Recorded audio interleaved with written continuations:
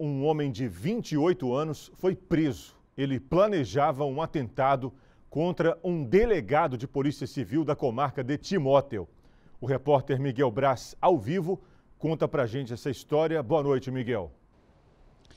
Ei, Saulo, ótima noite para você e para todos que acompanham a esta edição do MG Record.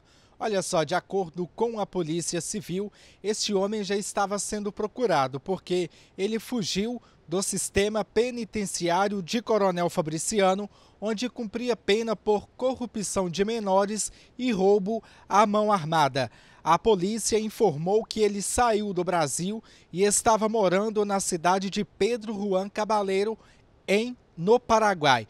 Portanto, a polícia descobriu que ele voltou para o Vale do Aço e, por isso, foi montada uma operação entre as polícias civil de Ipatinga e Timóteo. No entanto, esse homem de 28 anos foi preso no bairro Petrópolis na tarde dessa terça-feira.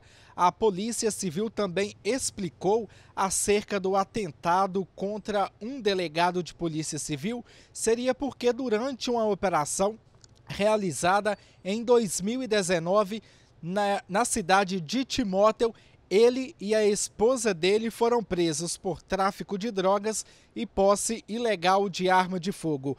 A polícia também apura se ele faz parte de uma organização criminosa voltada para o tráfico de drogas na região.